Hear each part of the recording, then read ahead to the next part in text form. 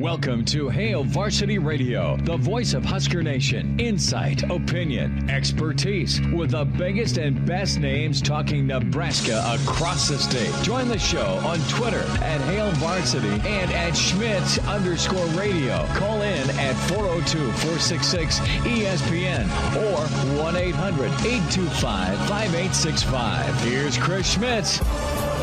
Welcome to it. Great to be with you on a Tuesday. It's Hail Varsity Radio, presented by the Nebraska Lottery. Chris Schmidt, Elijah Herbel.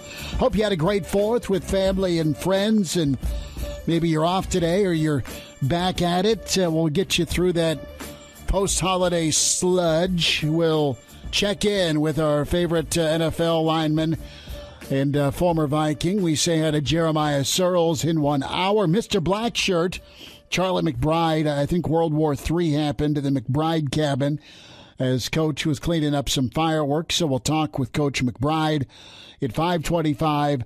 And in about 20 minutes, uh, we'll get the recruiting rundown. Mitch Sherman from The Athletic going to join us. Some great coverage as well on hailvarsity.com because uh, it's a flurry, man. It's this time of year. A lot of us growing up would would go to a fishing hole, right? That special fishing hole and this was the double secret fishing hole Grandpa would always have out in western Nebraska and McCook. And uh, no doubt, my brother and I would fish three times a year. And we sucked as fishermen. Uh, but uh, Grandpa'd find the spot. There you go. Drop it in. And you're just reeling him in. He's taking him off the, the hook and putting them, uh, you know, in the cooler. Uh, you just you, you're catching fish as fast as you can breathe, and that's what the recruiting feels like right now for. Mickey Joseph in Nebraska at the wide receiver position. Big commitment coming up uh, with linebacker Dylan Rogers in less than an hour. Uh, Elijah Herbel has his crystal ball out, and it says what? It's not a magic eight ball. It's the Elijah Herbel crystal ball. Oh, it says Nebraska. Why? I don't doubt you, but I'm saying give me your reason. Your reasoning's pretty solid, actually. You're, you're reading some tea leaves. Yeah, I'm reading some tea leaves here. If you, if you go check out his Twitter page, uh, what's interesting to see here, uh, two things. Dylan Rogers, linebacker, Texas. You, you look at his Twitter page, and his pinned tweet, the one at the top of his profile, is the offer he got from Nebraska, mm-hmm. which obviously, I mean, you, you, you want to cater towards Nebraska fans.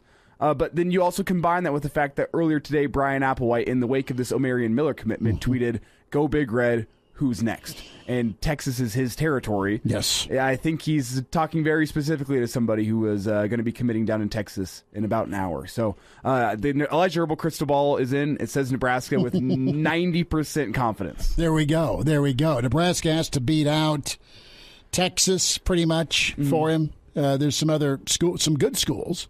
I think Arkansas is in there as well. But uh, you know, another uh, feather potentially in the cap for, for Bryan Applewhite. And to further read into the tea leaves a little bit, his last visit was Texas. Mm-hmm. That was the last one he made before his commitment. And usually, that's a sign. However, he would have committed then. I'll, he would have committed then. A B, a lot more Twitter posts about Nebraska and his recruitment with Nebraska than, than Texas. And you can't read too far into that because sometimes people are just trying to, you know, get their following up, get their name out there, and Nebraska fans are a great, great way to do that. They're very loyal on Twitter. But Texas fans are the same way. And he's not making uh, the same kind of uh, statements and whatnot about Texas that he's making about Nebraska. Nebraska getting a yes over the weekend from uh, wideout Barry Jackson. Uh, Jackson is in, and one of the uh, the I think it was the the initial Friday Night Lights weekend. You had uh, a trio of receivers, right? You had uh, Barry Jackson, you had Omarion Miller, you had Malachi Coleman, all posing and posting together. Well, two out of three ain't bad. You want three out of three, and that's Malachi Coleman uh, that still uh, is out there for Nebraska to try and get. But you get Omarion Miller. He made his announcement a little earlier today. You couple that with Barry Jackson, and it's been a great Fourth of July weekend for Mickey Joseph. a lot of hard work and effort going in by Nebraska's uh, associate head coach and wide receiver coach, passing game coordinator. But it comes down when you hear the quotes and see the quotes from Barry Jackson and Omarion Miller. It's uh, about Mickey Joseph. It's about the connection they had with Mickey Joseph. It's it's really keeping it real. You hear that, and you're like, okay, well, in this instance, you uh, you look at Mickey Joseph, you look at what he's produced, and you look at his mentality towards his guys, his drive towards his guys, the no nonsense BS, straightforward truth serum that Mickey Joseph always provides his guys. He's encouraging. He's an ear for them. I mean, a lot of the guys, most of the guys he's uh, picked up for Nebraska are are dudes that are traveling quite a ways from home. But there's that Louisiana connection or Southern connection with Mickey Joseph, and, and he ain't to BS you. He ain't to baby you. And uh, if you're to play for him, he is to demand a lot. But if you put that in, it'll more times than not, it'll turn out off the field for sure. And uh, his track record of on the field's pretty good. Uh, with you look at what he did at LSU and I don't know about you, but I'm anxious to see the Nebraska wideouts do some work. I'm anxious to see the Nebraska returners do some work. And uh, yeah, Barry Jackson and Omarion Miller in. A couple of thoughts first and foremost on, on Barry Jackson. He's 5'11, 175. The Saturday commitment for Nebraska. Uh, Jackson out of Atlanta, or the, uh, I should say, the state of Georgia. And he is he's really gifted in, in, in the following. First and foremost, uh, his high school coach just touched on the fact that he's uh, very, very elusive. You want that. You want the guy that's got some shake and bake after the catch in space, uh, in the slot, or on a on an out route. You you love that that out route or the, the, the post or the hitch with a with a shorter guy, not six two, not Randy Moss guy, but think of well, think of your chase type body type, okay? Where, yeah, give me eight for second and two or move the sticks, get me a first down. But in a lot of instances, the, you, you turn a simple play into a touchdown, okay? When you get a guy that's super elusive, makes the offense go a lot better, doesn't it? Uh, where a guy can turn and burn after catch it in space. So first and foremost, you have good hands. You've got uh, high level of elusiveness. And you've got an explosive player. This is not a comp. I am not saying Nebraska just recruited the next Tyreek Hill. No he's in his own world when it comes to, to speed, uh, agility, in space movement, and acceleration. But that's your example I'm trying to paint for you. Is you get a guy that's elusive in space, it can be really good things. And I, am going to go with a, a, slightly different comp here for Barry I'm, Jackson. I'm not calling him. Yeah, I know, I know. And, and and the guy I really look at as almost identical in terms of athleticism and, and, what he looked like coming out of high school. Jahan Dotson from Penn State. Oh, he, cool. he, ended up working nice. his way into a, uh, a, first round wide receiver. He's with uh, Washington, I believe now. Dotson's only five eleven. Dotson's five eleven. Get this. He looked. He played bigger, didn't he? Played bigger, but he's five eleven. Jahan Dotson's best 100 meter time in high school was 11.07, which is still really good. As for Barry Jackson, 11.18, very mm-hmm. comparable top end mm-hmm. speeds. Uh, that route running looks pretty similar. The, the type of things they're going to be doing in an offense looks similar. Uh, what Jahan Dotson has that I'm not sure uh, Barry Jackson has just yet is that high jump leaping ability. Barry, Go high point it. Yeah, Barry, he's got great numbers in long jump and whatnot in high school. Um, I haven't seen him go out there and do a vertical jump. So I'll, I'll throw mm, that out sure. there. But from what I see from high school film, I'm not sure it's there yet. But Jahan Dotson, I feel like is a very, very reasonable comp for, for Barry Jackson, at least as an athlete coming out of high school. You look at Jackson. Thanks for that input. That's good stuff with the, the Dotson comp. Uh, as an athlete, too, with Jackson, we'll get to Miller in a moment, today's commit. He can play slot, he can go outside, he can play in the backfield. And Nebraska's got a, a really good problem right now. Uh, there's a, a, supply of very high level high school wide receivers. Mm-hmm uh, there's a demand for Nebraska, and, and right now, uh, how many spots are left? Because you could only take so many wide receivers uh, for this upcoming class. But explosive player can take the, the top off of defense. Uh, really good get in Barry Jackson. On paper, you have Omarion Miller that is similar to guys uh, that, that Nebraska, some – flashed, some produced really well. I mean, think of uh, a high four star prospect out of Louisiana. That's what Miller is. And from an on paper standpoint, uh, he's right in that Wan'Dale, Stanley Morgan, Xavier Betts mold, specifically Betts and Robinson. They were high, high level recruits, mm, right? Betts, they were, they Bet, were. I would say Betts is the one that I, I, really think of when I look at Omarion Miller. Just because of the body type and the speed and how graceful and, yes. and athletic uh, he is, and he's a, he's a top 100 recruit, and uh, you have him committed to LSU decommitted to LSU and chose Nebraska today over uh, Arkansas, Tennessee, Oregon, and LSU. He still had that that committable offer to LSU.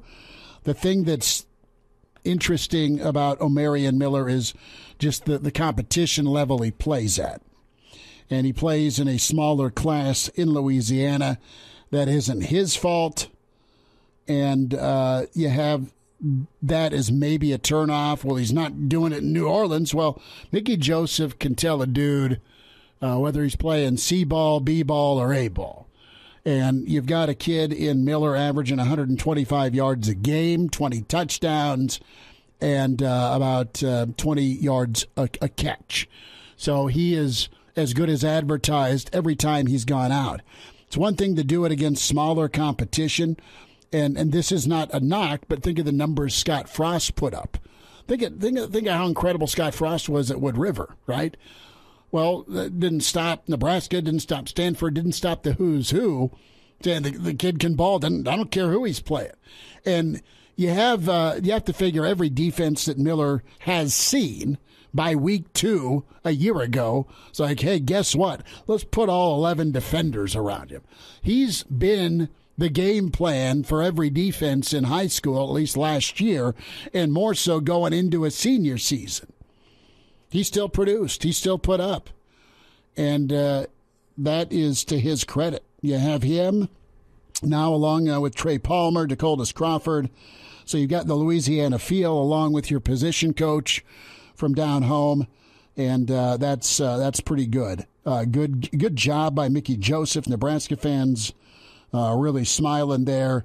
And uh, you have the a good problem right now for Nebraska, and that is uh, a lot of guys that want to come to Lincoln and play wide receiver for Mickey Joseph. Got to think you got at least one spot left for for Malachi Coleman. You do. I mean, because we were talking about Barry Jackson's forty time and Omarion's forty time and what they ran in, in the the hundred.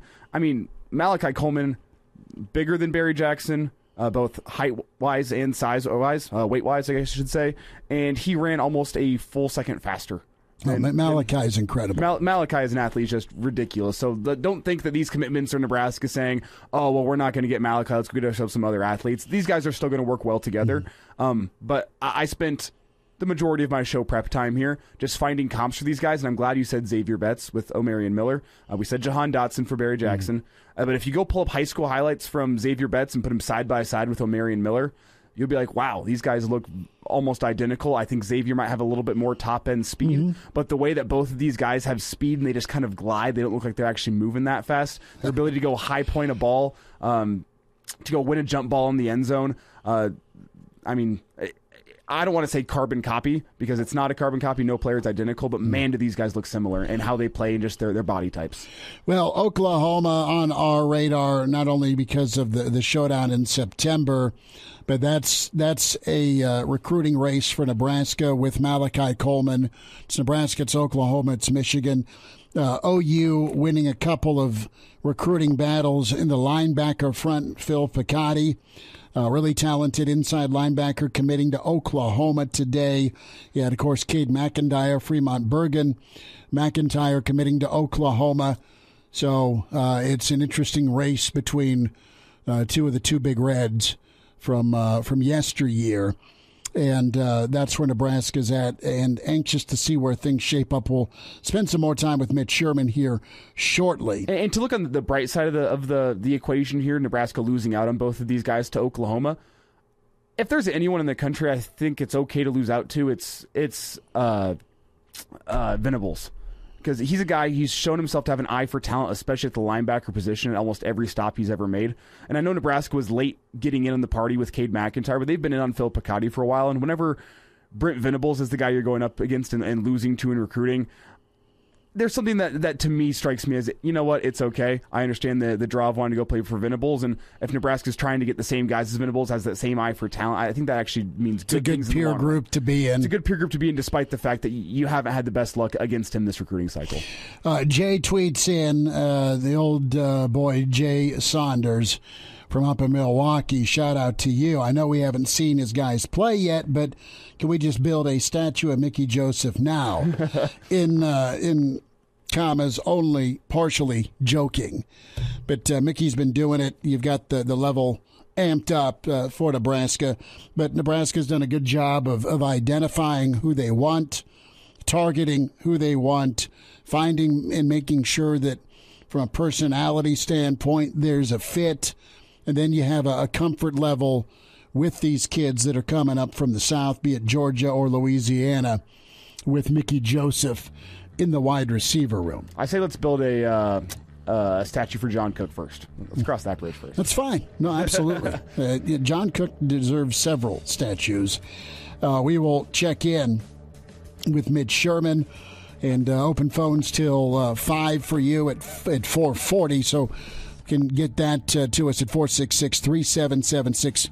Also on Twitter at Schmidt underscore radio at Herbal Essence for Elijah Herbel. Calling all Storm Chasers fans. A team you never get to see is making their way to Werner Park June 7th through the 12th, and that's the Lehigh Valley Iron Pigs. It's the first meeting between the two franchises, and there's plenty going on that week. June 9th is the Chasers Community Celebration for Pride Night, presented by PayPal. June 10th is What If Night, where the Storm Chasers will change their name to the Hogs. A little backstory that was a previous Omaha team and was a potential name change when the franchise was looking to rebrand. It's a battle of pigs versus hogs. You can't have a name change without new jerseys, too. Specialty jerseys will be worn that night, and of course, they'll be autographed and auctioned off. Snag your favorite player June 10th and then run it back on the 11th. It's Salute to Corn Night presented by the Nebraska Corn Board. It's a celebration of all things corn. Corn on the jerseys, corn in the stands. Trust me, this game will be amazing. See you there. And now. And now, back to Hail Varsity Radio. Big thanks for hanging out. Hope you had a great 4th of July. Hail Varsity Radio back with you. Chris Schmidt, Elijah Herbel. And we say hi to Mitch Sherman with The Athletic at Mitch Sherman on Twitter. Mitch, you have a good 4th, bud. Thanks for the time. I did. I did. It was um, it was a good weekend. Got a lot of baseball and um, finished it with a Storm Chasers game last night. Saw the Chasers hit nine home runs. I uh, didn't expect to uh, walk into Werner Park and, and see that, but that was really cool. We caught uh, two of them, um, the group that I was with. Oh, so, nice. Who uh, who could imagine that out of 8,500 people in the stadium? It was it was a good fourth, and that was a good cap to it. How about you? Uh, it was it was wonderful. I uh, got the grill going, uh, did a little pool time, snuck in some golf over the weekend, and was able to monitor Nebraska's recruiting prowess uh, as well over the weekend. Yes or no? Did you guys uh, take state, uh, your baseball club? uh, we lost to the champs. Okay. Uh, went two and two. So the bracket champs, not like the, you know, overall best team in the whole world champs, but uh, they won the last game and uh, they beat us in the in the round of eight. Mm. So no, but hey, it's about the experience, right? And it was a great it was a great uh, great six months of of baseball and I'm re- I'm two days removed or three days removed, and, and looking forward to next year. Well, that's that's awesome. Excited that you had a chance to to be a part of it. That was really cool. Uh, Mitch Sherman with us at Mitch Sherman on Twitter. Mitch Mickey Joseph's uh, on a run. Uh, if I knew him better, I'd ask him to go to the boats with me. Uh, that's uh, uh, impressive with what he's doing, but but not shocking. Your thoughts here on Omarion Miller, Nebraska able to land the six two wideout from Louisiana. Yeah, I don't know if it's luck, Chris. It's uh, not. I think Mickey's been doing this a while, and he definitely has a knack for being able to recruit. And you see him tapping into some of his old mines and continuing to bring players from Louisiana. It's not necessarily been a state that Nebraska in recent years has had a lot of success recruiting. Um, there's some history there, mm-hmm. of course, with guys like Mickey Joseph, Reggie Cooper, and others from his era to go way back. But in recent years, um, you know those those players from that state are generally staying in the SEC, and and now um, at least the top ones, you see a four-star player, a top 100 prospect who was offered by LSU and Arkansas, Miami, and and South Carolina, others. Uh, come commit to Nebraska after a visit about a month ago. You know, and this is just another in a string of um, eye-opening catches that Mickey Joseph has has landed. Um, you know, Trey Palmer is of course one of those as the LSU transfer. You have um, Janiran Bonner, uh, the recruit out of Georgia, um, Decoldest Crawford, the wide receiver recruit out of uh, Louisiana uh, that were in. Both of those guys were in the 22 class, and and now uh, Miller is the third wideout out of 12 commits in this 23 class, and and Mickey loomed large with all of them. Mickey's able to identify, target, build that relationship, and a think a guy can play, but but Mitch Mickey's pretty real with the guys mm-hmm. from from the get go. You, you, need to be, but I don't know that in the recruiting game everyone always is. Right. Uh, talking to him, uh, you get that sense very quick that he has a great understanding, and he, you know he's been doing this a while. He's 54 years old. He played in the 80s and early 90s, so his perspective is is outstanding on what it takes to be a player at this level. He has been uh, at small schools. He's been at the biggest of big schools, LSU, in in in 2019 was was one of the greatest runs in college football history from an offensive standpoint. They were pretty good on defensive defense too. That was a complete, uh, completely dominant team. And so he's been at the top, and you know I think that really resonates um, as it should with prospects. The the the um, he has mastered the, as you said, Chris, the way to communicate with players, and he understands what to say, um, how to coach them, and um, just essentially how to play that recruiting game. And you see it even now with so much changing in the world of recruiting because of NIL.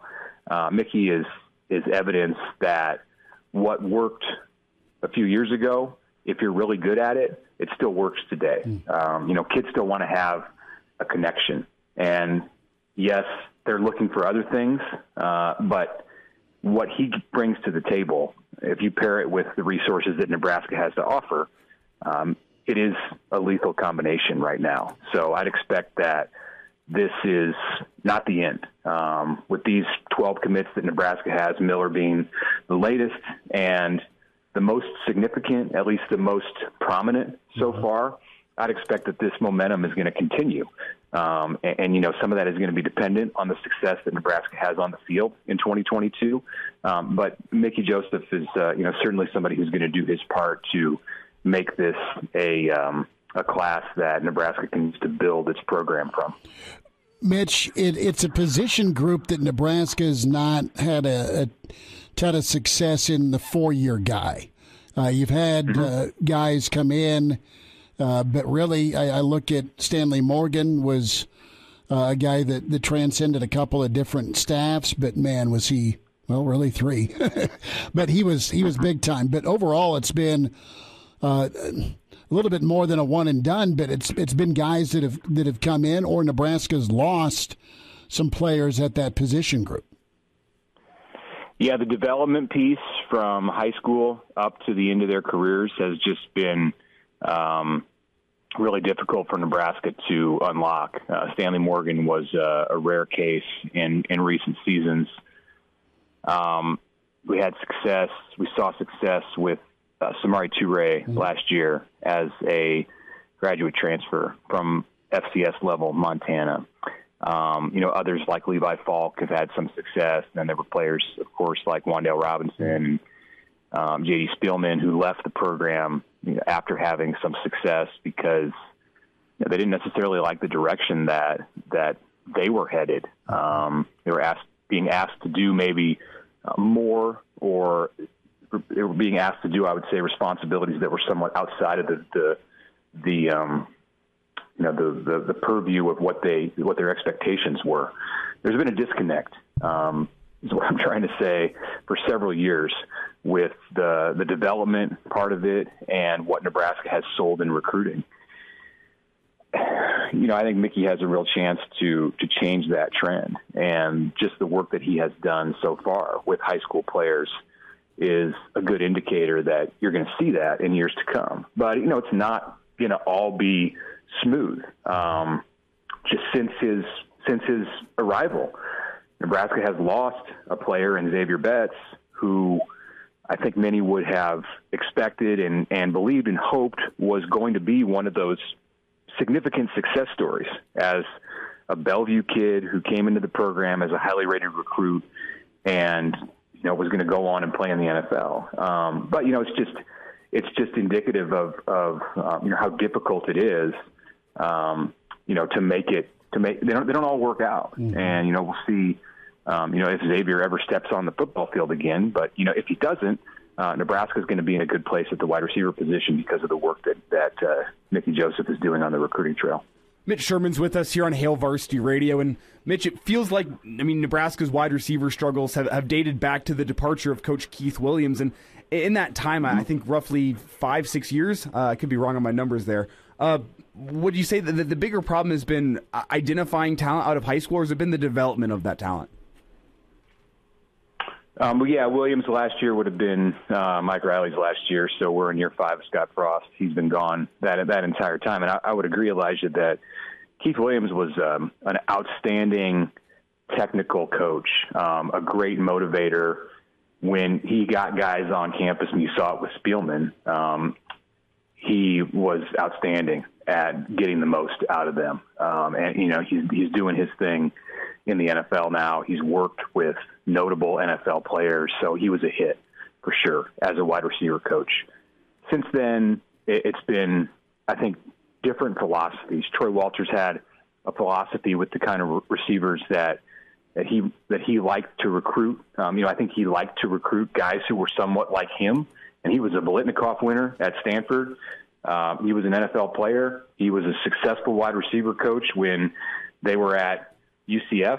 So his his his roadmap it worked. Um, it didn't work at Nebraska for whatever reason, um, whether it was a Big Ten thing, whether it was um, the something within the program uh, about those players not fitting in, and then you know Nebraska's been through a lot mm-hmm. with players at that position. You have the 2020 class where a good portion of it was just doomed from the start uh, because of the pandemic and you know just the different environment that they were living in in Lincoln. And there were receivers in that group who never got a chance to play in Nebraska because they were gone before their careers got off the ground. So you know, it hasn't been one thing. You can't look at it and say, "Oh, it's identifying talent," or "Oh, it's it's entirely about development," um, or it's about changing philosophies. Uh, Matt Lubick came and had a different philosophy with receivers than what than what uh, Walters had. I think Mickey Joseph and, and, Mark Whipple have a different philosophy with what they want to do uh, at that position than what Matt, Matt Lubick had. So they need some consistency, and it's only been a few months, but uh, you know I think Mickey's laying the foundation along with Mark Whipple and Scott Frost in, in bringing consistency finally to that position. Mitch Sherman's with us. Mitch, about a minute or so uh, with conference realignment, USC, UCLA to the Big Ten. What's your timeline? What's your projection on, on a Notre Dame decision? Oh, I, it, I don't think it can be years and years down the road, but you know Notre Dame always has leverage. Um, probably not as much as usual right now because of the kind of money that that school could be looking at if they do take that leap and, and join a conference. And there's really only a couple of options that Notre Dame could go. So, you know, there's a couple dates to look at. One, you have the media rights deal with the Big Ten that starts anew a year from now. And then two, you have the um, absorbing of UCLA and USC. That's two years from now. So it would make the most sense if Notre Dame is going to do that and end up in the Big Ten for it to happen at one of those times. Um, but I don't know in this situation if what makes the most sense is the thing that's most likely to happen. Uh, that doesn't seem to be the case in general with conference realignment. You know, I could see it three, four, five years down the road, just out of the blue. Okay, they're ready to to, to make that leap, but um, yeah, I think it would make the, the most sense for everybody if it was either one or two years away. At least the decision was made then. Yeah, absolutely. Mitch, we'll get caught up again. Great stuff today. Thanks for your time as always. Okay, thanks. Take care. Calling all soccer fans. Union Omaha is back home after an unbelievable showing in the Lamar Hunt U.S. Open Cup round of 16. An upset over Minnesota United? That's our team. So join them when they come home May 28th for Educational Outreach Night, presented by Bellevue University. The Owls will face Northern Colorado Hailstorm FC, and after a couple of road matches, will come back on June 18th to face Greenville Triumph SC. It's it's also Pride Night. We'll see you there. Chime in 402 466 ESPN or email the show. Chris at HailVarsity.com. Just try me. Try me. Back to Hail Varsity Radio. Coming up, we'll spend some time with Jeremiah Sirles. Of course, Tyson's treasure chest, tee off for treasures. Coming up, also, Sirles part of the Team Jack golf outing this weekend. We're live from Wilderness Ridge Saturday morning, 7 to 9 a.m. ahead of the Team Jack tee off. And uh, we'll be out at Woodland Hills uh, a week from Saturday. So a couple of golf roadies. Uh, Chris Schmidt, Elijah Herbel, open phones till 5. Then we'll check in with Sirles and also spend some time with Coach McBride. Uh, excited this week, too, to run down Coach Kaczynski. Numbers to get in 466 377 6800 825 5865. So, uh, this is on the horizon. We'll have more time to, well, parse through it post interview. But John Canzano, really talented uh, writer and, and radio guy out in Oregon, he is. he's going to sit down with the Moos today. Bill Moos is going to make uh, an appearance on his show. And um, that's where Moos will weigh in. Moos, of course, at Nebraska, at Oregon, at Washington State is AD. And it'll be interesting as Moos has made a comment about the road in the Big Ten. Moos, a longtime Pac 12 guy, and asked about the fact, all right, what is going to likely be the path for USC, UCLA. How will they do when they join the league? And I don't know about you, but I thought Nebraska, because of their speed, the way they were built uh, in the Big 12, I thought they'd come in and run circles around the Big 10. Boy, was I wrong. Now, the speed was pretty solid out of the gate you had some good teams, some really good players your first couple, three years in the Big Ten. And you weren't awful. You just weren't winning some of the big games. We'll talk with Sirles about this. You weren't winning some of the big, you know, the, the high profile games. You weren't really beating Ohio State at the, the, their peak. You didn't beat uh, Wisconsin like you should have. You got embarrassed, frankly, by Wisconsin in, in some of the higher profile showdowns. You were right there against a good Sparty squad, but you didn't beat them. But the flip side is, is typically you weren't losing to Purdue. You didn't. You typically weren't losing to Illinois. You didn't. You uh, weren't losing to Iowa, maybe once uh, uh in the Pelini era. And you did pretty much solid work. You were five and three. You won in Ann Arbor. You won at College Station. I mean, couple of times. He went three and zero oh against Penn State. So it wasn't all bad, but those those blowouts were, were tough to take for some of the fans. Moos goes on to say, "It ain't gonna be easy." And it won't be an easy road for USC and UCLA. At Nebraska, we took teams into Ohio State, into Michigan, into Penn State. Let's just say there aren't going to be any 10 and 2 seasons. for UCLA and USC. wow. He might be right. Because it is it is a you have two years to, to start your transition with what you're gonna recruit. I mean, you're gonna go get who you're gonna go get, and you're gonna see if your best can beat the Big Ten's best. What's iconic about Ohio State is is it doesn't matter who they play. More times than not, they're really good against a Clemson. Either they, they lose by a score or they win the game. Clemson's been right up here. Alabama ripped them apart in 2020. But Ohio State's been really good at whoever they've matched up with. They don't always win, but they're able to, for lack of a better term, play about any style. Penn State built that way.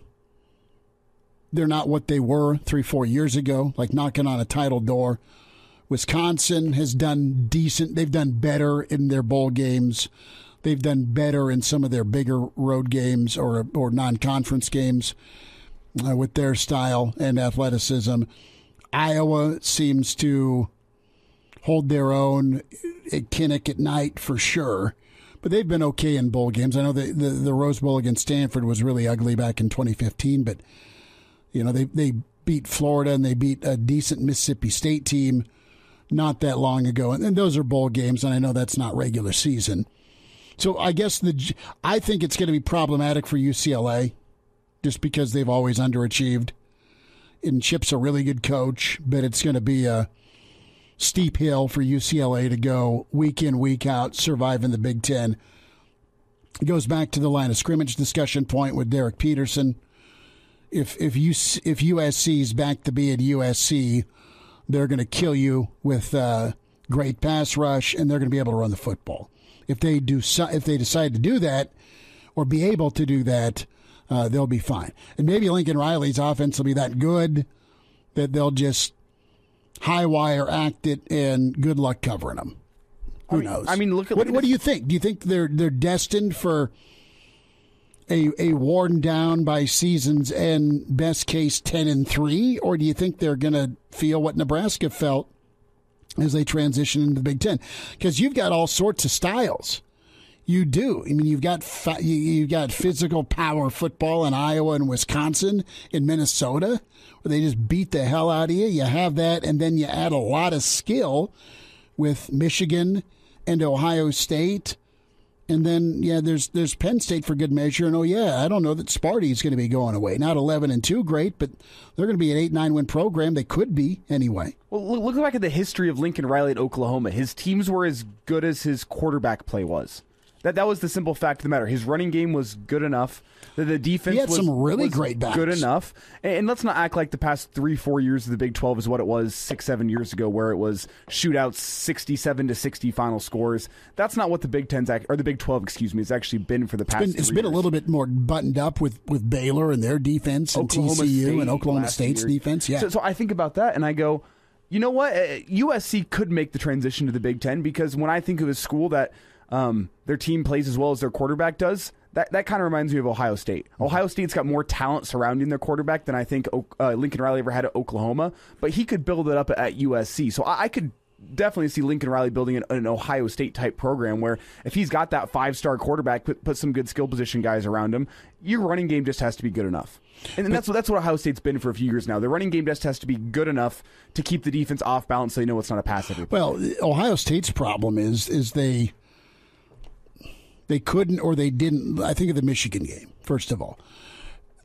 Ohio State's had backs that are really good, but they've wanted to win throwing the football, and that didn't work out well uh, in that snow globe ball game in Ann Arbor. I mean, it just got sideways because you're trying to chuck the football around in space. And when Ohio State's been great, they've they've had a a phenomenal back. I mean, think about the, the the name's escaping me, but he's a transfer from Oklahoma. That that Oh. you know what I'm talking about. He ran for three bills against Northwestern. That's how they won the game uh, in the Big Ten title game because uh, Fields didn't have a good throwing day.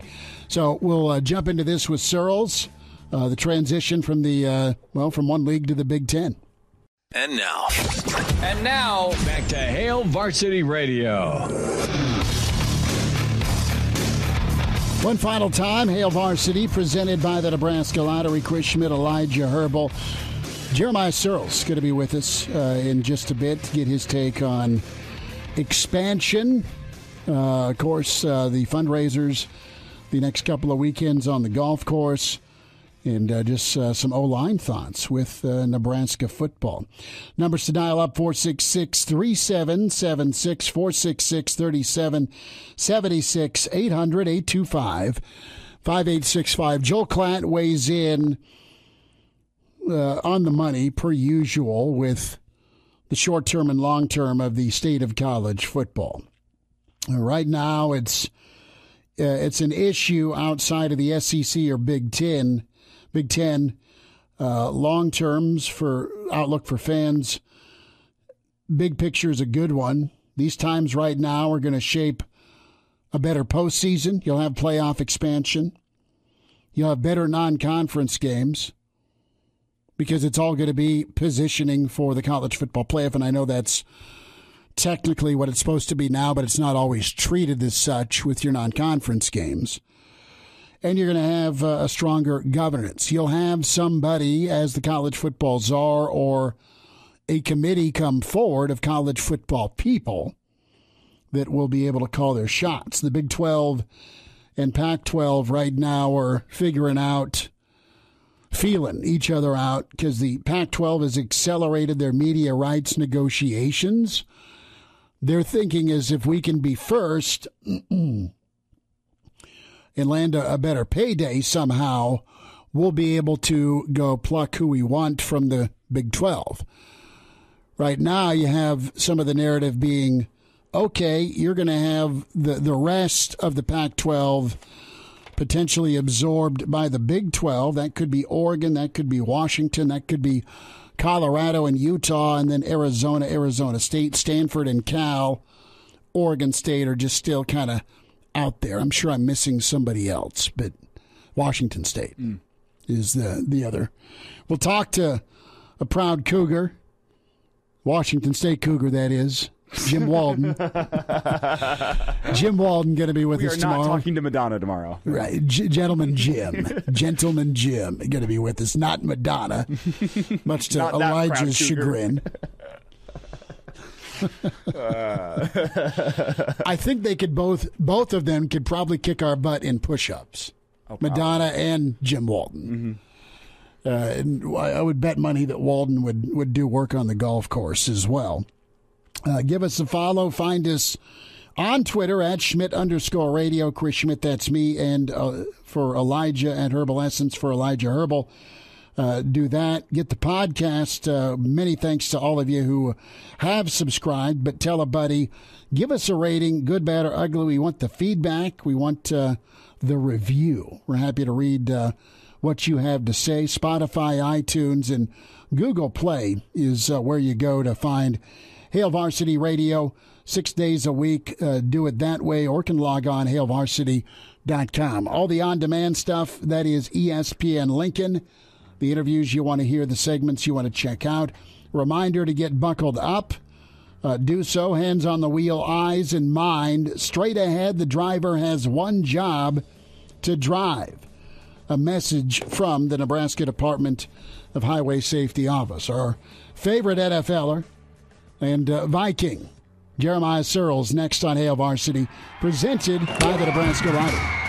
Hello, listener. Hey, it's Chris Schmidt with Hail Varsity Radio, and I wanted to let you know about a special deal just for listeners of the Hail Varsity Radio Show podcast. We're offering $10 off the annual subscription price. That means that you can get everything we do 10 issues of our monthly magazine, our annual football yearbook, and all the premium content we produce at hailvarsity.com. Just go to hailvarsity.com backslash subscribe and enter in the promo code GBR for $10 off a full year of Hail Varsity. That's hailvarsity.com backslash subscribe, promo code GBR. Welcome to Hail Varsity Radio, the voice of Husker Nation. Insight, opinion, expertise, with the biggest and best names talking Nebraska across the state. Join the show on Twitter at Hail Varsity and at Schmidt underscore radio. Call in at 402-466-ESPN or 1-800-825-5865. Here's Chris Schmidt.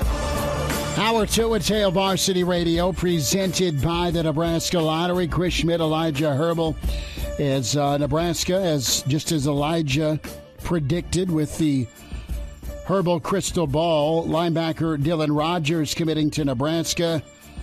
And uh, pretty nice uh, Twitter post from him. Cypress, Texas is uh, where he hails from. Had interest from Colorado, Houston, K State, Missouri and he picked uh, Nebraska over Texas. And uh, it was, uh, well, the uh, second home part of things that uh, was the uh, the prom- prom- predominant factor for Rogers. So Nebraska getting a linebacker as well as a wideout today. Nebraska stays hot. A high profile recruit that did great work on the football field and off the field for Nebraska, Jeremiah Sirles, with us at Sirles71 underscore HSKR. Sirles, how we doing?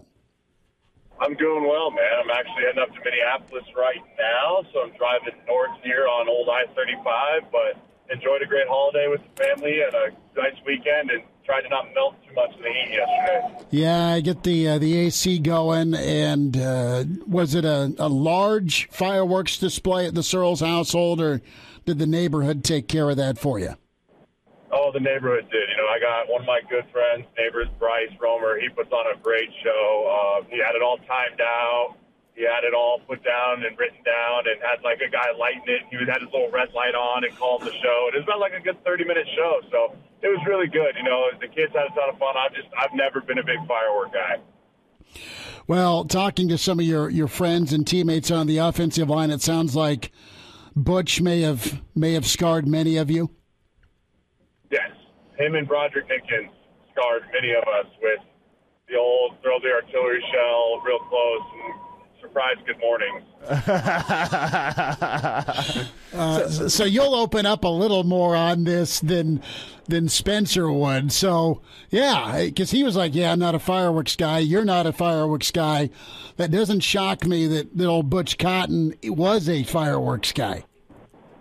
Yeah, I mean, there's a few guys that uh, love to blow things up there, and you know, I I actually played against Jason Pierre-Paul the year after he blew his hand off, and I can remember staring at him, being like, "That is just disgusting." and so you know, I just I don't I don't I don't light things off anymore.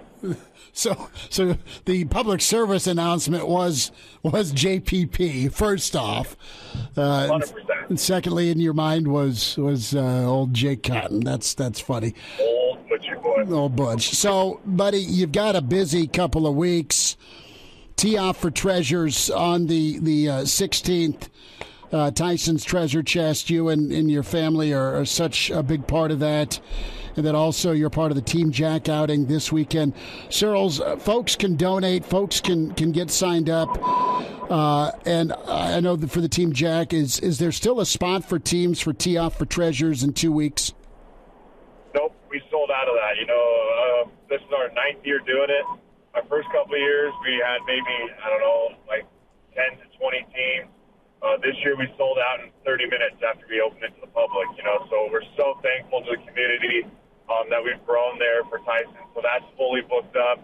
There is some spaces left for Team Jack if you want to get in uh, to Wilderness next week.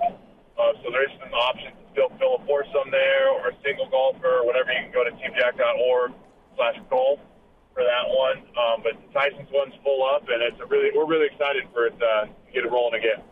That'll be out at Woodland Hills on the 16th, and Team Jack at Wilderness here this Saturday. We'll be broadcasting live at both, and excited for that. And Sirles, this is so near and dear to your heart. Before we get to some football and some realignment stuff, uh, just spend a moment, uh, if you could, on on your your relationship not only with uh, Tee Off for Treasures, but also Team Jack, and just part of that outreach and uh, you know life beyond football that was so big at Nebraska with you and so many.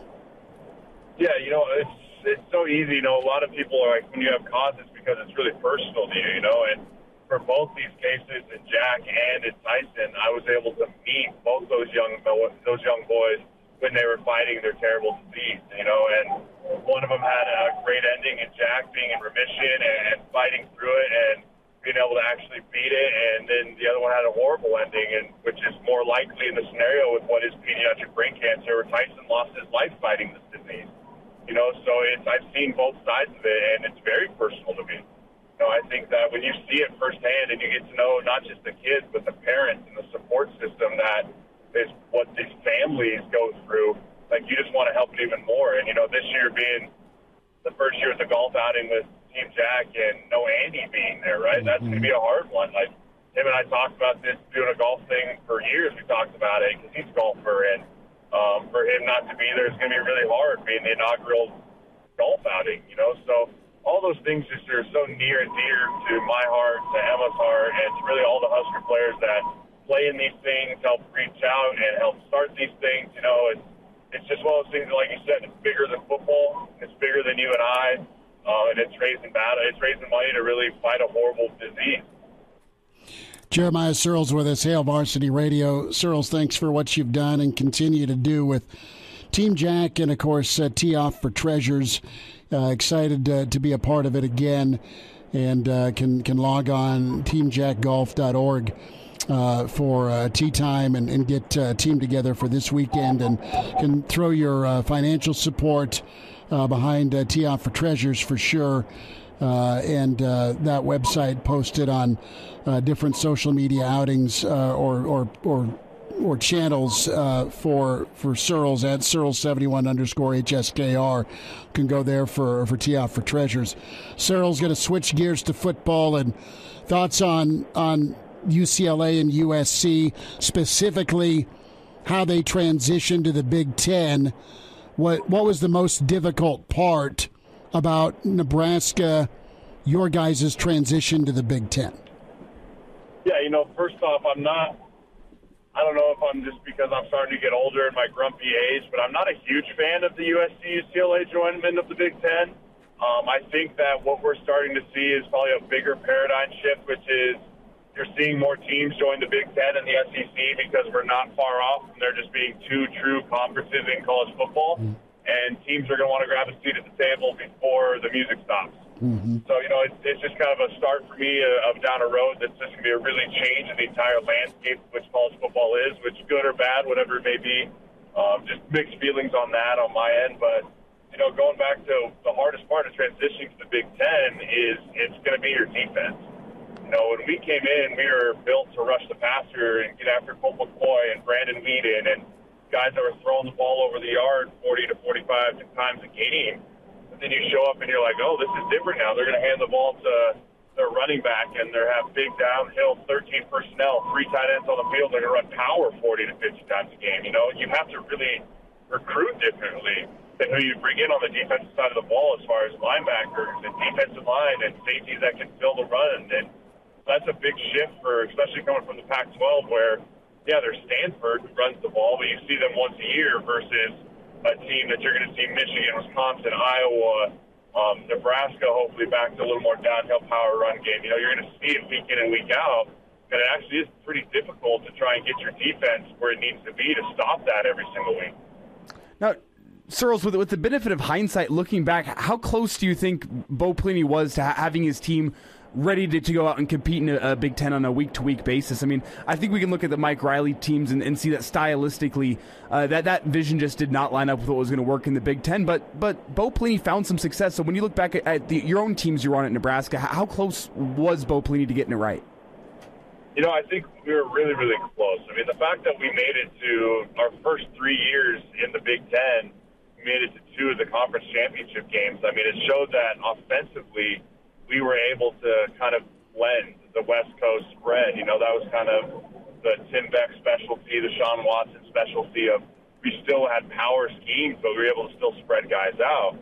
And then defensively, you started to see Bo bring guys in like Vincent Valentine and Maliek Collins and Freedom and and those guys that were bigger bodies off the edge. And then be able to plug guys in. And you saw him kind of go to the Michael Rose-Iveys and the bigger middle linebackers, right? Like you started to see that kind of trend going in the direction of what the Big Ten was really going to be about. You know, so I think that he got it really close, and you know he missed on some guys too, which hurt. Um, you know, specifically kind of our O line once that 14 Alex Lewis class kind of graduated, there was really not a lot of depth back there, and so I'm not real sure how successful they would have been on offense there um, if Bo even would have stayed because he missed on some recruits there for the offensive line. But you know, I think he was getting pretty close. Sirles, let's look at this year's offensive line and a lot of moving parts from an injury standpoint uh, with with Teddy and Turner, and uh, of course Nouili is is done for this year the the question mark at center. You've got Hunter Anthony that's a transfer in. You've got Kevin Williams that's a transfer. Lutovsky at guard. Uh, Piper and Benhart. I mean, let's let's put everybody in the same uh, beer mug.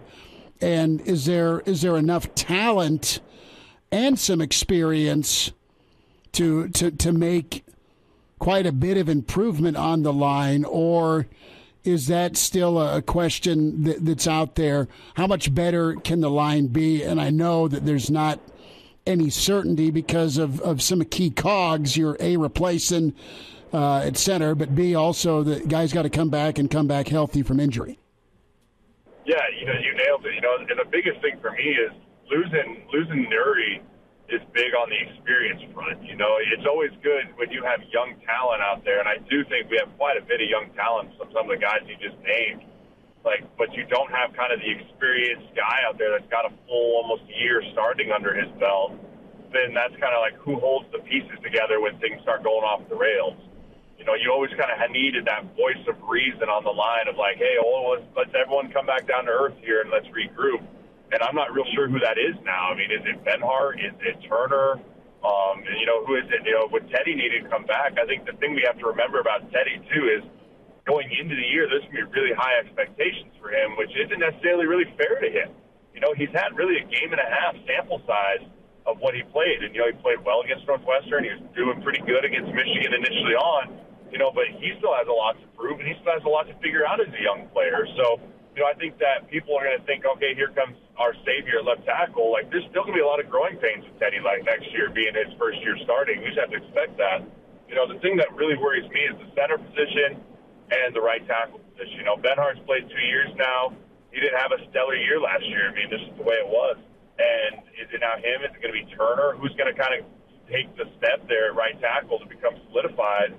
And then really, who's going to be the, the controller in between? Is it Hixson? Is it Ethan Piper? Like, I'm not real sure who it's going to be. And you're going into a fall camp with more questions than answers, and three of, uh, not four of the five positions, and that's going to be a really hard thing for Coach Raiola and Frost to kind of decipher as they go through here. So let me get your quick take about Turner and center. Is that is that something we've heard that narrative? Do you do you think it's doable? I think it is. You know, I think Turner's athletic enough. The thing that if he goes and he moves into center, I, his strength will need to take a big jump this winter and summer. Uh, to play center in the Big Ten, you got to be a big, strong dude. You got to be able to hold in there and keep that depth in the pocket, not getting pushed underneath. And I mean, quarterbacks, yeah, they hate getting hit around the edge, but they hate not being able to see in front of them because they have their center in their lap. You know, so that'd be something for him that he'd have to really work on. I think athletically you can do some really special things with him in there, like they did with Jurgens, where you pin him, pull him, you pull him out on the edge of pass protection, you get him out there on screens, because he is a really good athlete.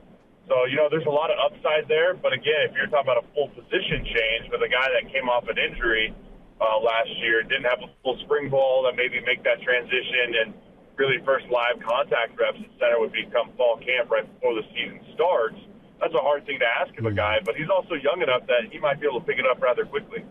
Sirles, real quick, about 90 seconds on chemistry. When we talk about a tight knit football team, you guys had that. Where did that come from? Was that the lines of scrimmage? Was it the quarterback? I know it can vary, but where did where did that voice folks respected uh, come from? Was it was it a skill or was it a trench guy? You know, it, it, be honest with you, it comes from the top. It comes from the head man. You know, it comes from the head ball coach. That's where your culture starts. That's where the chemistry starts. And that's where you kind of base everything out of there. And then from there it goes to um, your kind of your positional room. And like you know, for us, it always was kind of our class. You know, we were an old, we had a lot of young guys that started early, and so me, Spencer Brent, Cole Pensick, Spencer, like we were kind of the voice of reason in that O line room, and really the entire offense there towards the end. That was the chemistry and building together and all of that. You know, so that's really where it kind of came from. But it all starts with the head ball coach. Jeremiah Sirles with us, Hail Varsity Radio. Uh, be sure to uh, get in touch with Sirles about ways to donate uh, to Tee Off to Treasures, Tee Off for Treasures. That is at Woodland Hills at uh, Golf Tournament. Uh, incredible, the ninth annual that uh, Jeremiah and his family are so involved with, and way to, to fight back and donate against pediatric brain cancer. Team Jack outing is Saturday at Wilderness Ridge. You can log on Team Jack and find out a way to get a team signed up. Uh, maybe you want to go swing the clubs this Saturday, and a, a great way to, uh, to, to raise funds. Again, fighting pediatric brain cancer. Team Jack and Tee Off for Treasures back to back weekends. Sirles, safe travels, brother. We'll see you on Saturday. Thanks so much. Absolutely appreciate it, guys. Go Big Red. There he is, Jeremiah Sirles, with us here at Hail Varsity Radio. And uh, find him on Twitter at Sirles71 underscore HSKR. Another recruiting win for Nebraska. We'll talk linebackers. Coach McBride next. It's Hail Varsity. We're presented by the Nebraska Lottery. Pardon the interruption, but I'd like to save you some money. I'm Brandon Vogel, managing editor of Hail Varsity. And I wanted to offer listeners of this podcast $10 off the price of an annual subscription. That means that you can get everything we produce 10 issues of our monthly magazine, our annual football yearbook, and all premium content we produce at hailvarsity.com. Just go to hailvarsity.com slash subscribe and enter the promo code GBR for $10 off a full year of Hail Varsity. That's hailvarsity.com slash subscribe, promo code GBR. And we're back. Fellas, think we could listen to the radio listen? On Hail Varsity Radio, presented by the Nebraska Lottery. Yes! That's awesome! Back into it, Hail Varsity Radio, presented by the Nebraska Lottery. Chris Schmidt, Elijah Herbel. We welcome in Mr. Blackshirt, Charlie McBride. It kind of feels like a Monday, the day after the 4th of July. Coach McBride, uh, were there a lot of booms going off at the, the lake? How, how was your 4th? Good. It was good. Family and friends and lots of food. And uh, I think I'm growing sideways. I, I am with you there. I had uh, a lot of steak over the weekend, and I had too much homemade ice cream last night. I was in bed and uh, and down for the count, so uh, I didn't shoot any fireworks off. Did you guys? Make it sound like uh, there was a, a, a, civil war going on. Man, how was the the firework display? Well, we actually had our fireworks on the second oh, which was okay. uh, Saturday, and uh, the the lake here puts on a pretty good show, and then they went on afterwards, you know. And of course, each year are the people around in our little area here that we're close to. We kind of pooled the money and blew the joint up. so was the uh, was the cleanup pretty hectic, or, or was there? Was there help involved with cleaning up all the fireworks? I, did, I didn't clean it up. I made the pyromaniacs clean it up. Well, good for you. That's uh, that's the way to do it. I'm sure the tone was was pretty pointed about uh, hey, you lit it, you clean it. I love it. Well, love that, that, that's why that's you right, bring. That's right. That's why you bring children to the Fourth of July celebration. You just give them a broom and say, "Hey, man, hey, go at it, go well, at I'll it." tell you what, all I know is the the the, the garbage man usually gets here about eight thirty on Monday. Uh-huh. Well, he came today because of the holiday, Uh-huh. and he had already dropped one load that he had so many things. So there was a lot of people around that filled up that truck, and and of course he never got here till afternoon, some at one or two o'clock. So it was, uh, you know, it was. It, it was a lot of garbage and a lot of fireworks stuff. I know our, we had a ton of fireworks leftovers, and so that's where that came from. But it it was it was wild. I mean, Saturday night was uh, actually the fourth was kind of quiet. Well, it's not been quiet for the world of college football with USC and UCLA making a move to the Big Ten. What do you think of that? Well, I think we just took over the whole United States from coast to coast. It looks like. Well, it looks like what they're headed to do is I I think they'll add some more teams. Mm-hmm.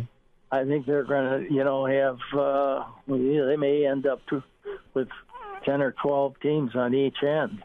Sure. And uh, and and then you won't go out of that league. Uh, I don't think.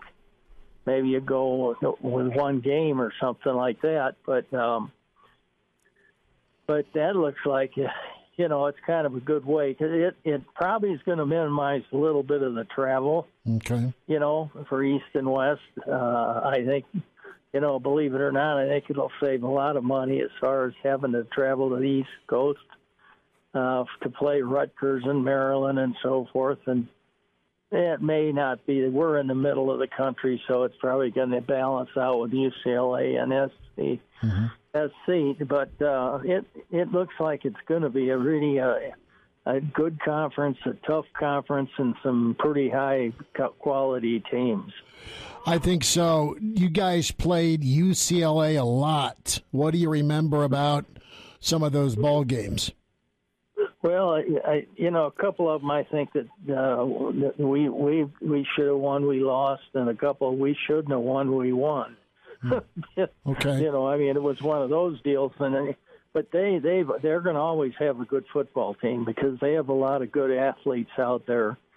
Uh, and in the in the in the recent years, uh, because of the pandemic and so forth, a lot of the players in California have moved on to the toward uh, you know moved east. Mm-hmm. Now, I don't think that's going to happen anymore. I think they're going to see the conference and see that they're going to be playing in the you know one of the best conferences in the country, if not the best. And um, I think it's going to be a, probably a rewarding thing. It's probably going to open up a little more. Uh, California probably will open up a little more for everybody. Mm-hmm. Uh, it'll be it'll be a war, but it'll be uh, you know interesting with how money is being thrown around outside. I think they're going to make some rules over that. You know the new the new way of number one transferring and number two of the kind of money you're making. There'd be some rules. Yeah, they'll have a, a chance to have a better governing body here with this new world of college football. A quick thought on USC and Lincoln Riley. He left Oklahoma for the Pac 12. Well, that landing spot's turned into uh, to the Big Ten. How do you see his offense surviving in the Big Ten? Oh, I, I you know, I think he's going to do well. I, he's a good football coach, and he's sound, and uh, I think he's the kind of person that can recruit. That that's the that's the biggest thing. He's, the, I think he's a good person, and I think that he'll, you know, he'll be able to do a good job of recruiting out there. And if they get to a point where they're stable and you know get, get, get aren't changing coaches as much and things like that, I think a little bit like we were. Mm-hmm. Uh, I think they're going to, you know, they'll they'll be tough. But UCLA and SC will always be fighting each other out there, no matter how you cut it, both on the field and in, uh, in recruiting. Mm-hmm. So, Coach, uh, a thought here about where else the Big Ten can go. What's your uh, what's your perspective on Notre Dame? Do they finally join the Big Ten, or do you think they somehow keep the ACC together? Yeah, I don't know. I think you might see a couple of more teams from the West Coast come. I think you're, you're looking at possibly even going back with Colorado and going back with uh, Oregon, mm-hmm. possibly. And I, I've always thought Utah is a, is a good draw. I think a lot of it would depend on maybe the size of their stadium and so on and so forth. Mm-hmm. But uh, you know, I think that's going to add a little bit, but you know, with the, getting in that conference, you can always add a few seats. I'm, I'll promise you that. You know, they'll have they'll have some money, and uh, so but you know, it'll it'll turn out. There'll be some good football teams. It's the the thing I my question was, what's going to happen to the rest of their conference? Washington, I don't know what they're what they're where they're going to end up standing, but you know, it's but there's some teams that are pretty good that could you know join the Big Ten out that that way and in between. Well, you might have a merger between the Pac 12 and the Big 12 because the Big 12, I don't know if the Big 12 would be able to pluck some of the other Pac 12 teams or vice versa. Maybe they just end up merging. That'd be kind of a cool conference. Yeah, well, that's that's that's the way it rolls, you know. And you know, I've always I, I don't think some of the schools uh, get enough credit. I I know that Air Force isn't going to be a a total power, but to play them is tough business. Mm-hmm. I mean, and they they you they could whatever they whatever they do, uh, whatever conference, which would probably be in the Pac-12 more more so, and uh, they'll they'll you know they're a school that you don't want to play necessarily because of the option game and the things that they do that are different than most most teams. Uh, I think Arizona might pick up the sticks too, and uh, some you know get get get better and uh you know i think they need to get some stability like a lot of schools do and i think they will coach charlie mcbride's with us here on hail varsity radio and coach if we just zoom out a little bit here a big picture question when you look at all this conference realignment potential 20 team super leagues do you think it's good for the game of college football or bad for the game of college football well i think the way they've got it the way they've got it, you got two leagues in one almost. You know, if you if you end up and you could see 24 teams in the Big Ten. I mean, and 12 and 12, mm-hmm. East and West, and then play each other in the end of the year. That'd be quite a game. I mean that. And then if you throw in the national championship on top of that, you got a lot of pretty good football, you know, ahead for everybody. Uh, it'll it'll be a little inconsistent, I think. Uh, you know, the Big Ten, even though you know I, I smell the same thing a little bit that I did was when I came to the uh, uh, you know when I came to the Big Eight, which was Oklahoma, Nebraska every year, and of course it's Ohio State, Michigan. It looks like every year here, and I think some of that stuff with a conference when you get top teams and you don't have those practice games, or you're going to start out with a, you know, you're going to start out the season with a league game probably. And uh, so you know it could it could be, that could be a big thing in the in the conference. Some teams start slow and. If you do, uh, UCLA, for example, I always started slow because they're uh, they were on quarters, mm-hmm. and and a lot of times they were at the beach for about three or four games, you know, and then they didn't figure it out. And after that, they turned into pretty tough stuff. Coach, going to switch gears and talk a little bit about the uh, the middle part of the Nebraska defense, the linebacking corps. You've got uh, Henrich, of course, uh, in the inside, and Reimer and Nebraska's got some depth and some some options behind those guys. But talk to me a little bit about just the importance with Nebraska's defensive setup and how key those inside linebackers are for this defense. Well, I think the number one thing is, uh, you know, you have to look at nowadays, of course, a little bit more throwing mm-hmm. than probably we saw, although we got teams that threw the ball more, more so. But I think the speed factor is really, really, really important, uh, especially at that position, because in some cases, uh, you know, you, if you don't have guys that can cover certain people, you're going to have to switch and go to a nickel and a dime defense and change personnel a, a lot more, you know, and and put defensive backs in there, and uh, you know that's that's something that that we we I don't know because I don't know the personnel and mm-hmm. the speed factor well enough to tell you. Uh, but I think that's a big thing, and and how they how they play on air, and they're going to have to play the run too. And uh, you know, and then of course that was what we had to do. Like what you hear, high quality radio and podcast is part of what we do at Hail Varsity. Hey, it's Chris Schmidt with Hail Varsity Radio, and I wanted to offer listeners of the Hail Varsity Radio Show podcast $10 off the price of an annual subscription. That means that you can get everything we do 10 issues of our monthly magazine, our annual football yearbook, and all the premium content we produce at hailvarsity.com. Just go to hailvarsity.com backslash subscribe and enter in the promo code GBR for $10 off a full year of Hail Varsity. That's hailvarsity.com backslash subscribe, promo code GBR. And now. And now, back to Hail Varsity Radio. Back in on a Tuesday here as we continue our conversation with Coach Charlie McBride. Uh, here, Coach Charlie uh, discussing the linebacker position at Nebraska, the types of guys he recruited, and what works in the Big Ten. Back into it, Hail Varsity.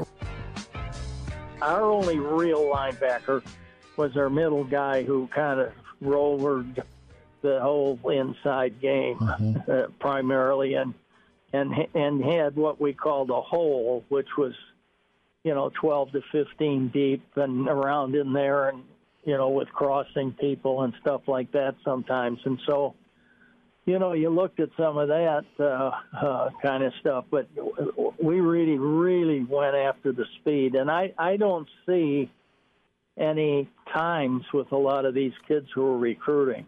Mm-hmm. You know, I, you know, you see a lot of wide receivers, and and there are a couple of guys that pop up to you, but you know, I, I remember at Arizona State, Frank Kush was a guy that he really believed in hurdlers Okay. I mean, he had a he had a thing about guys that were athletes, and he felt like the guys that were really the athletes were the guys that were hurdlers and could could fly, and they ended up being our receivers. Most of them came were hurdlers in high school. Well, that's uh, that's quite a hybrid ask that you wanted for your linebacking corps to be tough enough and physical enough against a, a power run game but also fast and agile enough to, to get that running back or slot in coverage or, or tight end.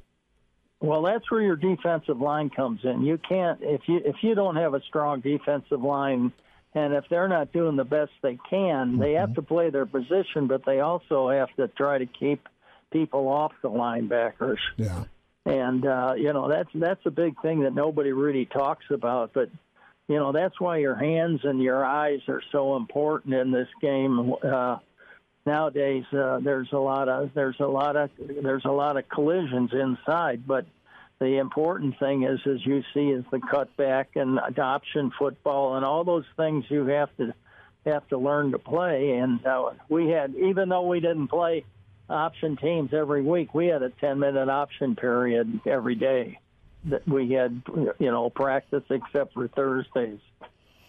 Well, quite a quite a list of middle backers you had: Ed Stewart, Phil Ellis, Doug Colman, Carlos Polk, uh, Jay Foreman. I know Jay kind of played in, uh, outside and inside, but uh, Johnny Hess. You guys had a good crew there to, to play the middle for you.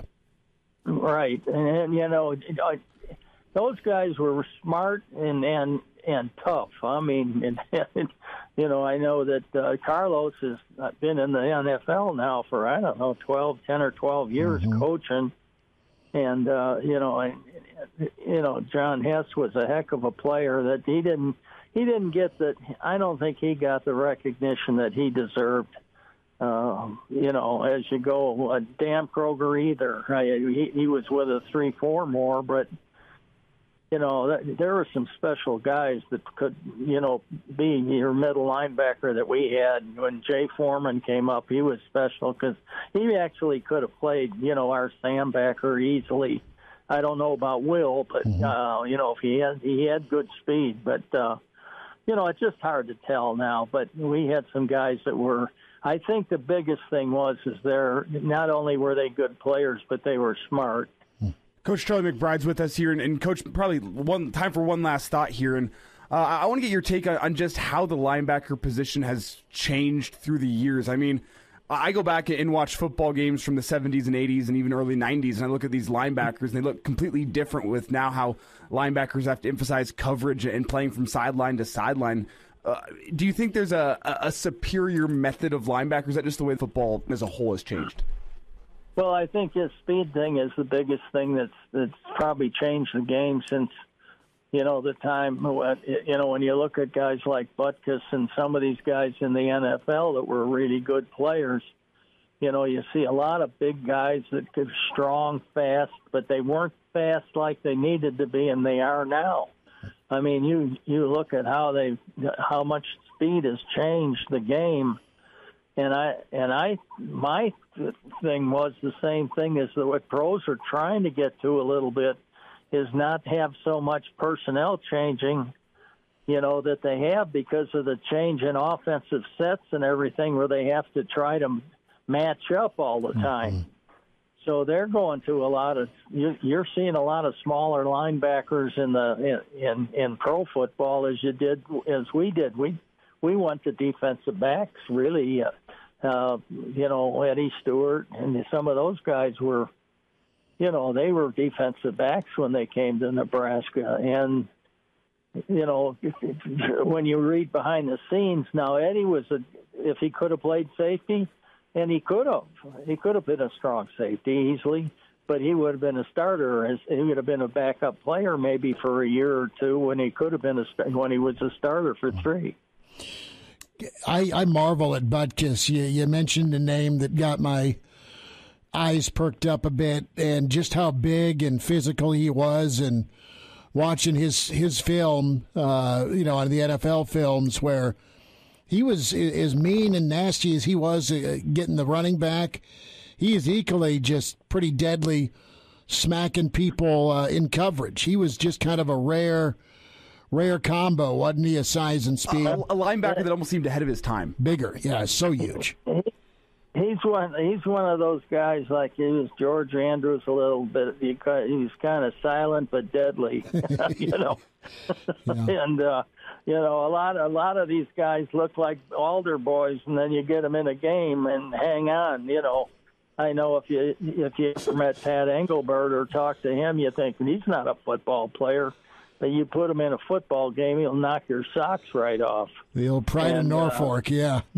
that's right. you know, so you know you can't tell you got a bunch of academic all Americans who, when you put them on the field, they're you know, I think some of them needed a doctor. they, they have the on and off switch. That's important. that's that's right. Charlie McBride with us, Coach. Have a great rest of your week. Thanks for making time for us, and go uh, go get some uh, some relief uh, from the heat and humidity in that lake. All right. Go get myself a couple of popsicles, and I'll be good. I'll be good. There you go, Coach. You take care. okay. Thanks, guys. I'll talk to you later. Bye now. Good stuff from Coach Charlie McBride today, as uh, hitting a little bit there at the end. Uh, his experience recruiting linebackers at Nebraska, and that's uh, so crucial on a day like today, whenever uh, Nebraska is uh, getting news of the commitment of linebacker Dylan Rogers uh, from down in Texas. So some good insight there from Charlie McBride. Uh, also today discussing the commitments of both uh, Omarion Miller and Barry Jackson, both those uh, guys wide receivers uh, of different types. As we discussed earlier in the show, Barry Jackson, 5'11", uh, got that speed factor as for Omarion Miller, 6 foot two, has got that big body. If, if you missed any of that conversation, that's what we let off the show with. You can catch that in podcast form. Hail Varsity's YouTube page, iTunes, uh, Google Play, Spotify, really wherever you like to get podcasts. You can check that out. Uh, we also heard back in hour one from Mitch Sherman as he discussed the wide receiver position as a whole at Nebraska underneath uh, the Scott Frost era. And uh, then a little bit earlier this hour, we had uh, Jeremiah Join the show as uh, Sirles hit on USC, UCLA, as well as the Team Jack Golf Classic. All those interviews posted up now, ESPNLincoln.com. And I'm uh, getting Coach Charlie McBride posted up as well as we speak to you. So that should be up here momentarily. We'll wrap up a Tuesday edition of Hail Varsity Radio coming up after the break, uh, right here on uh, ESPN Lincoln for our local listeners and also across the state. Like what you hear? High quality radio and podcasts are just part of what we do at Hail Varsity. I'm Brandon Vogel, managing editor. I wanted to offer listeners of the Hail Varsity Radio Show podcast $10 off the price of an annual subscription. That means that you can get everything we do 10 issues of our monthly magazine, our annual football yearbook, and all of the premium content we produce at hailvarsity.com. Just go to hailvarsity.com slash subscribe and enter the promo code GBR for $10 off a full year of Hail Varsity. That's hailvarsity.com slash subscribe, promo code GBR. Sus. Come here, brother. Give me a hug. Bring it in for the real thing. We're on call for you. Catch the podcast at hailvarsity.com, the ESPN Lincoln app, or download them on iTunes. Saddle up, partner. Back to Hail Varsity Radio. One last time on a Tuesday, it is Hail Varsity Radio presented by the Nebraska Lottery. Elijah Herbel taking you through the last couple minutes of this show as uh, uh, off watching the well the not so little guy. He's uh, he's on the mound tonight. Uh, in uh, one of the final Legion games of the year. So Schmidt checking out the show here just a couple minutes early as uh, he is on his way out to the ball fields, uh, watching the little guy hopefully throw some strikes tonight. So good luck out to the Schmidt family as uh, Carson finishes up his first year of Summer Legion baseball in the few games left. Schmitty, I got to take that time to go out and watch the little guy pitch. What I want to do with this last couple minutes of the show is give some appreciation to one of the greatest athletes, at least one of the most dominant athletes of our generation. And yes, I'm talking about Joey Chestnut. I am not sure if you can actually define Joey Chestnut as, as a true athlete in the, the sense of the word, but in terms of the preparation these, these competitive eaters have to put into it, I'm going to let it slide on a day like today. Joey Chestnut, I'm going to call him an athlete. And based on his 15 wins of the Nathan's Hot Dog Eating Contest, I think it's fair to say one of the most dominant athletes of our generation, if you can describe him as such. And we have some comments out from Joey Chestnut today. There was a lot made on, on social media yesterday, both of the fact that Joey Chestnut got his 15th championship in the Nathan's Hot Dog Eating Contest on one leg. Uh, that was huge as uh, he came into this uh, injured, played through the pain, and uh, got the title anyway. But the, the bigger deal yesterday was the protester or, or demonstrator, whatever you want to call him, who hopped on stage with Joey Chestnut and uh, hosted a sign which said "Expose Smithfield's Death Star." Um, and uh, Smithfield's Death Star is apparently a, a, a packing plant or something like that, where I mean Nathan's gets their their pork from. Smithfield. So he's trying to protest that. And Joey Chestnut, who's focused on the competition, if you haven't seen the video, go check it out. It's all over social media. Uh, uh, he puts the guy into a headlock and kind of throws him to the side and continues eating his hot dogs as he took down 63 yesterday. And we have a, a quote out here from Joey Chestnut today. Uh, saying, I was just confused. I didn't know what was going on. I thought maybe somebody fell into me at first.